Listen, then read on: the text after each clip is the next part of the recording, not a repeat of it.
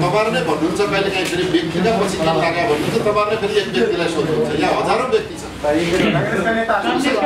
म भन्दैछु त हजारौँ व्यक्ति छन् एकैछिन है त। दलीय व्यवस्थामा माथिल्लो तहमा पुगेका व्यक्ति दलभन्दा बाहिर त कोही पनि छैन। दलभन्दा बाहिर कमै मानिस मात्रै होला। कोही न कोही कुनै न कुनै दलसँग आबद्ध छन्।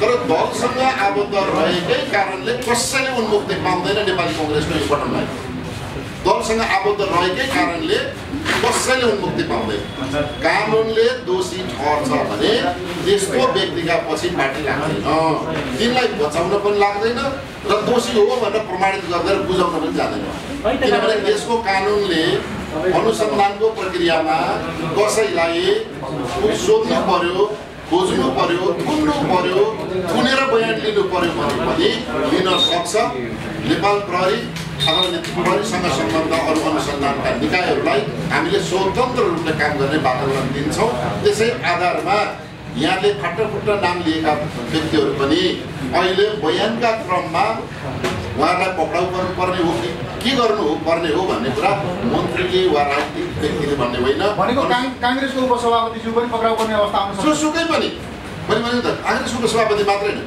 कुनै पार्टीको सभापति होस् वा हाम्रो पार्टीको सभापति होस् वा कुनै पार्टीको महा महासचिव होस् यदि सहकारीमा मात्रै पनि होइन। आदरणीय साथीहरूलाई म स्पष्ट पार्न चाहन्छु। सहकारीको कार्य केसमा मात्रै होइन। जुनसुकै केसमा मान्नुहोस् न मैले एउटा यहाँलाई भनौँ तपाईँ पासपोर्टको कुरा होस् कि नागरिकताका कुरा होस् कि चोरीका कुरा होस् कि ज्यान सम्बन्धी कुरा होस् कि लुटपाटका कुरा हुन् कि बलात्कारका कुरा हुन् कि त्यो कुरामा चाहिँ पार्टीको कुरालाई सहकारीमा चाहिँ भन्ने अरूमा नभन्ने भन्ने हुन्छ। नागरिकता भए पनि पासपोर्ट भए पनि बहुविवाहमा भए पनि अथवा लुटपाटमा भए पनि चोरीमा पनि जे जेमा जो जो सम्बन्ध निस्किन्छन् उनलाई शुद्ध नेपाली नागरिक र अभियुक्तका रूपमा दोषीका रूपमा अभियुक्तका रूपमा अनुसन्धान गर्ने अभियुक्तलाई दोष प्रमाणित भए अभियोजन गर्ने अभियोजनलाई न्यायिक प्रक्रियाबाट टुङ्ग्याउने भन्ने कुरामा हामी विधिको शासन मान्ने पार्टीले यसमा हामी कठोरलाई छ। त्यसैले मैले भनेका कुराबाट यहाँले चाहना गरेका मानिसहरूले ढिलो छिटो पक्राउ आज त हाम्रो प्रश्न के छ भने दुई तिहाईको सरकारले दुई तिन महिना भइसक्यो अहिलेसम्म केही एउटा देखिने काम किन गर्न? अघि जनताको प्रश्न मैले एउटा त भने। हामीले सत्र वर्ष लगाएर अल्म लिएका थियौँ। देवेन्द्र मान्यजी यही हुनुहुन्छ। हामी प्रचण्डजीको नेतृत्वमा टुङ्ग्याउन खोज्यौँ देउबाजीको नेतृत्वमा टुङ्ग्याउन खोज्यौँ ओलीजीकै नेतृत्वमा विगतमा टुङ्ग्याउन खोज्यौँ टुङ्गिएको थिएन त यसमा फेरि कुनै एउटा पार्टीले टुङ्ग्यायो ओलीले टुङ्ग्याउनु भयो देउबाले टुङ्ग्याउनु भयो प्रचण्डले गर्नु भएन भन्ने होइन। हामी सबैले मिलेर के गर्यौँ भने यो जनताले दुःख पाउने काममा हामी धेरै बेर नअल्मायौँ जनतालाई छिटोभन्दा छिटो न्याय दिउँ पीडितहरूलाई न्याय दिउँ भने हामी त्यो एउटा टुङ्ग्यायौँ। संविधान संशोधनको मूल एजेन्डा बोकेर आएको काङ्ग्रेस एमालेको यो दुई तिहाईको सरकारले अहिलेसम्म के गरिरहेको अब अब राजनीतिक स्थिरताका लागि अहिले देखिएको केही विषयहरू छ। जुन कुरा यतातिर सिंहदरबारमा बस्नेलाई धेरै अधिकार तल भन्ने चिन्ता छ प्रदेशमा बसेर रहेका मन मुख्यमन्त्री मन्त्रीज्यूहरूलाई सिंहदरबारले अधिकार दिएन भन्ने छ। स्थानीय तह कसको मातहतमा हो भन्ने अर्को प्रश्न छ। अनि आम नागरिकलाई अघि ऋषिजीले पनि थपिहाल्नु त्यसलाई। तिन तहका लगभग आठ सय एकसट्ठीवटा सरी सात सय त्रिपन्न आठ सात सय एकसट्ठीवटा सरकारलाई तलब भत्ता लगायतका चिजहरूमा नै हामीले दुई कोटी खर्च गर्नु पर्यो बोजिलो भयो भन्ने छ। यो संविधान संशोधनले संविधानका मूलभूत विषयहरू सङ्घीय समावेशी लोकतान्त्रिक गणतन्त्र र धर्मनिरपेक्षता यी पाँच चिजमा कुनै दखल नपुर्याइकन यिनलाई थप मजबुत बनाउने गरी संविधान हामी संशोधन गर्छौँ। संविधान संशोधन गर्दै गर्दा भइराखेको लोकतन्त्र पूर्ण लोकतन्त्र बलियो लोकतन्त्र हुन्छ। समावेशिता थप समावेशी हुन्छ समानुपातिक हुन्छ। र हाम्रो गणतन्त्र अझ बलियो र नागरिक अधिकार र नागरिक स्वतन्त्रता सहितको गणतन्त्र हुन्छ। धर्मनिरपेक्षतामा कुनै एक धर्म विशेषको बाहुल्य थियो भने सबै धर्मावलम्बीहरूले आफ्नो स्वतन्त्र रूपले आफ्नो धर्म पालना गर्ने जुन अधिकार छ त्यसलाई थप मजबुत बनाउँछ। सङ्घीय संरचनालाई अहिलेभन्दा छरितो बनाएर अहिलेभन्दा प्रभावकारी बनाएर र अहिलेभन्दा जनतालाई सर्भिस दिन सक्ने सेवा दिन सक्ने बनाएर लैजाने भन्ने कुरा छ। यो पनि फेरि नेताहरूको पार्टीहरूको चिन्तनमा छ अहिले व्यवहारमा आइपुगेका छैन छलफलमा आइपुगेका छैन। त छलफलमा आउँदाखेरि दुई तिहाई भएका कारणले संविधान संशोधन हुने होइन दुई तिहाई पुर्याएर जसरी गर्ने भन्ने पनि होइन नेताहरूको आशय पनि त्यही छ। प्रमुख प्रतिपक्षी दलका नेताहरूले चाहेको पनि त्यही छ। मैले चाहेको पनि के छ भने संविधान भनेको जनताको आपसी सम्झौता हो। त्यो आपसी सम्झौतामा कोही एकले पनि विमति राख्नुभयो भने त्यो सधैँभरि विद्रोहको बीजारोपण हुन्छ त्यसैले विद्रोहको बीजारोपण नहोस् भन्नका लागि संविधान सबैको सहमतिबाट संशोधन हुन्छ र संशोधन हुँदा कसैका अधिकार कटौती गरेर कसैलाई निरङ्कुश बनाउनका लागि वा कसैलाई चाहिँ सिन्डिकेट कायम गर्नका लागि नभएर अहिले हामीले चाहेको लोकतन्त्रको पूर्ण अभ्यास गर्ने वातावरणका लागि र सबैको राज्य सबैले न्याय सरकारले राम्रो काम गर्दैछ।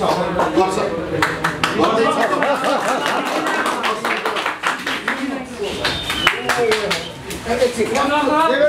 संक्षिप्त के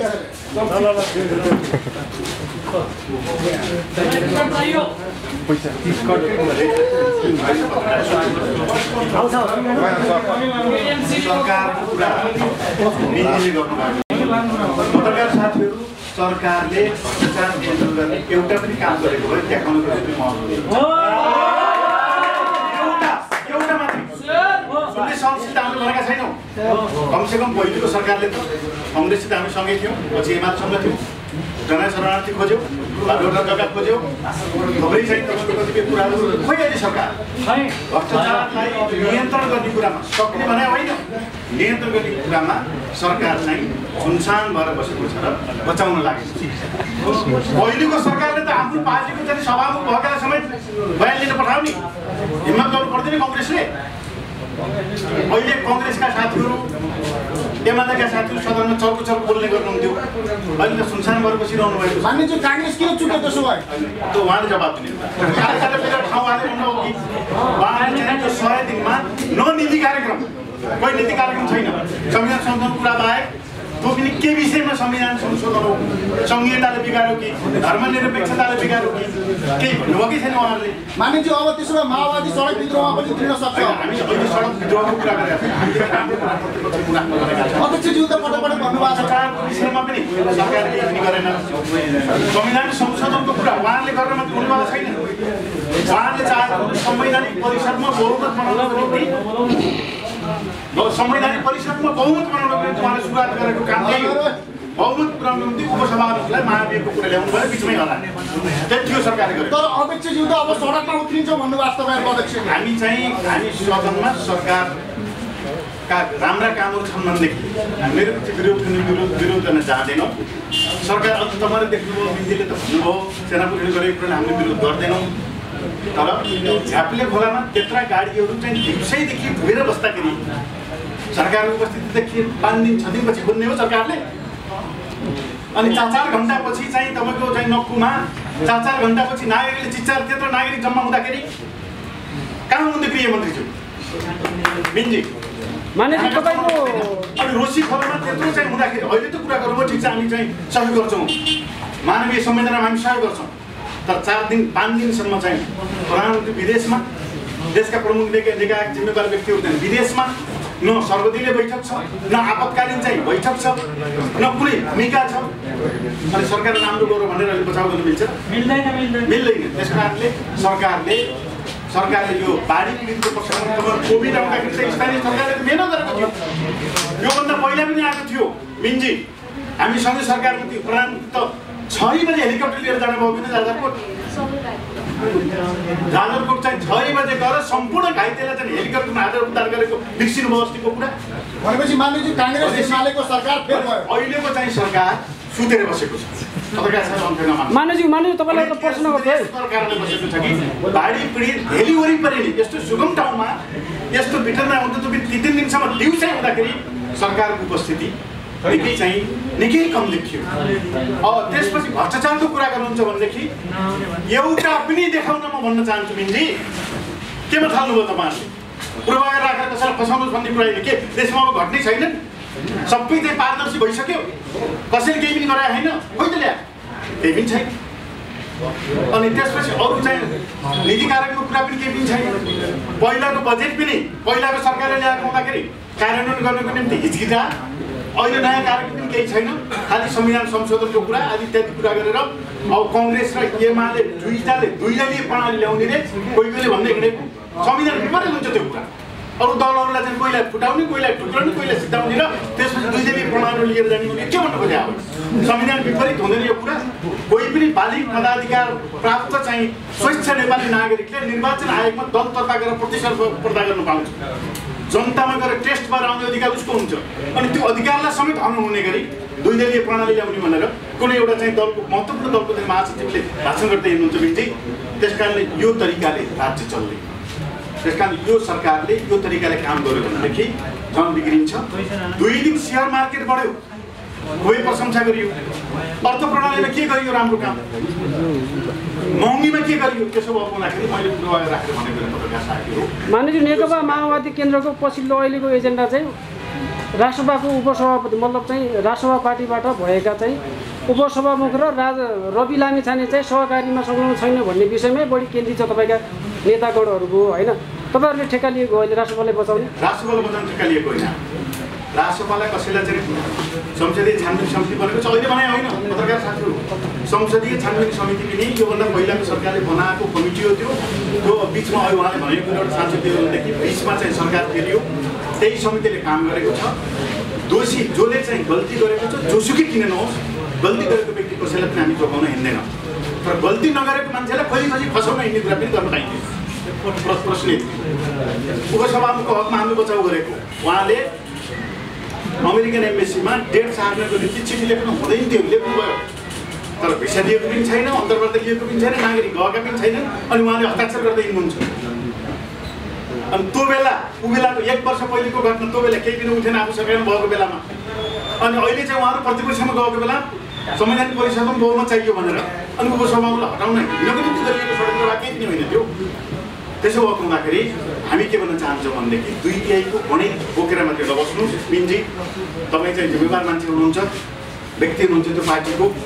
अहिलेका देशका जनताका जल्ला बल्ला समस्या हल गर्नुको निम्ति जनतालाई डेलिभरी दिनको निम्ति जनतालाई राहत दिनको निम्ति जनतालाई यो अहिलेको समस्याबाट मुक्ति दिनको निम्ति भ्रष्टाचार नियन्त्रण गर्नुको निम्ति तपाईँले चाहिँ अगाडि बढ्नुहोस्। हामी साथमा हुन्छौँ तपाईँले गर्नु भएन भने तपाईँले भन्नुभयो जस्तै हामी विरोध गर्छौँ। हामीले असहमति राख्छौँ जनताको बिचमा राख्छौँ सदन खोलिएछ भने सदनमा राख्छौँ र जनताको मुद्दाहरू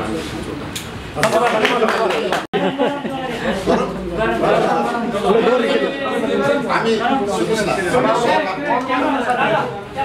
हामी सहकारीमा पनि मान्य देवेन्द्र पौडेल र धेरै ठाउँमा सँगसँगै छौँ अझ नेकपा माओवादी केन्द्रसँग त हामीले निकै लामो सहकार्य गरेका छौँ यति मात्रै होइन गाली गाली आरोप प्रत्यारोप होइन हामी त भोटै साटासाट गरेका छौँ त्यसो भएर अलिकति ठाउँ राखेरै बोल्नु भन्दा मैले धेरै कुरा नखोज्दा अब पनि नखोदलौँ तर भन्नै पर्ने कुरा चाहिँ के भने माननीय देवेन्द्र पौडेलजीले भ्रष्टाचारका बारेमा यो सरकारले के गरेका छ र मेरो अहिलेका गृहमन्त्रीको र नेपाली कङ्ग्रेसकै ठम्मै के हो भने कुनै पनि दोषीलाई दोषीलाई आरोपित व्यक्तिलाई खोजी गर्दाखेरि ढोल पिटेर खोज्ने होइन हल्ला गरेर खोज्ने होइन आज म फल्नाको फाइल खोलिदिन्छु। फलानु व्यक्ति फल्ना ठाउँमा छ म नजिकै पुगेँ पक्रेर ल्याउँछु भने जस्तो गरेर गीत गाएर सङ्गीतबाट कन्सर्ट गरेर अथवा चाहिँ जुलुस गरेर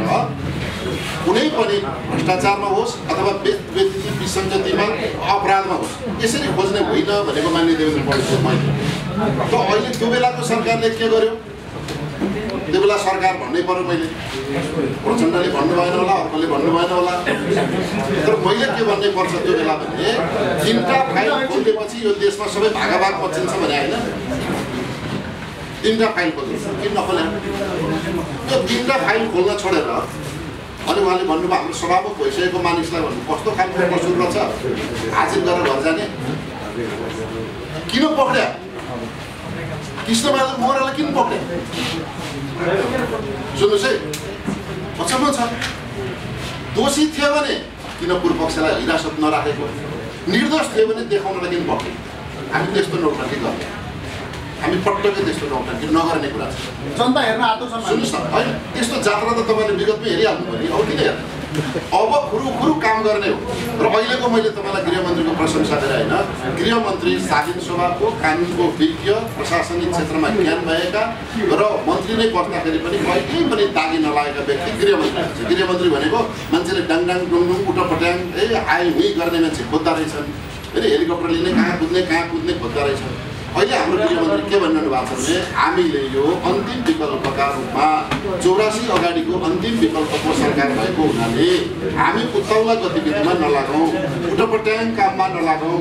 मान्य देवेन्द्र पौडेलले भन्नुभयो जस्तो हतारमा कसैलाई दोषी करार गरेर नौटङ्की पनि नगरौँ र कसैलाई साँच्चै दोषी छ भनेर ढोल पिटाएर भगाउने काम पनि नगरौँ।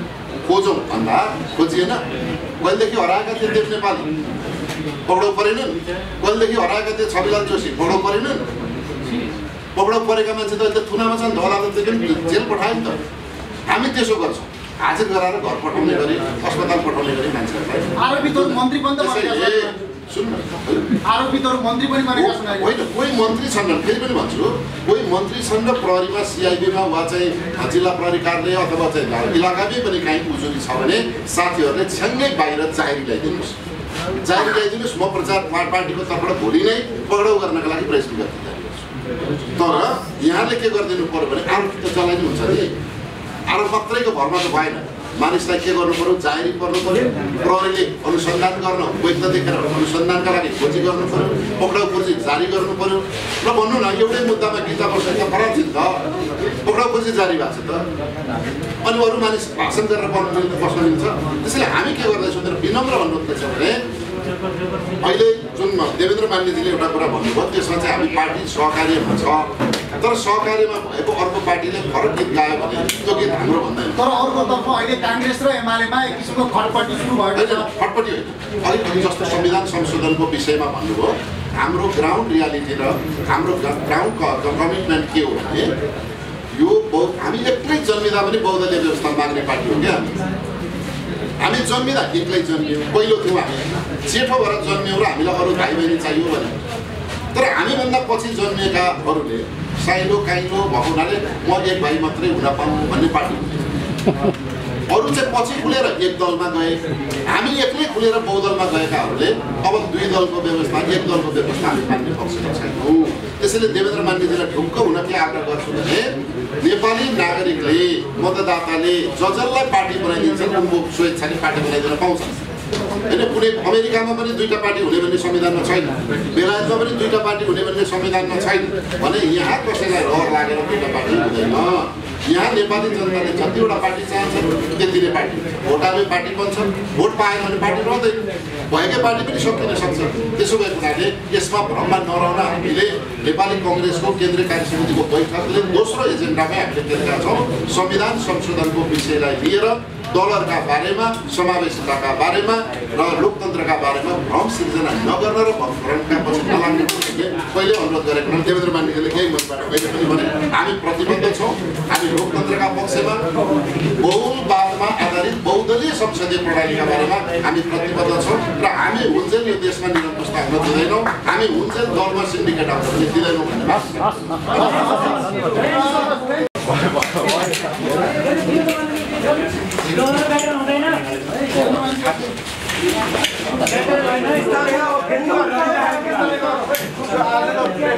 Yeah.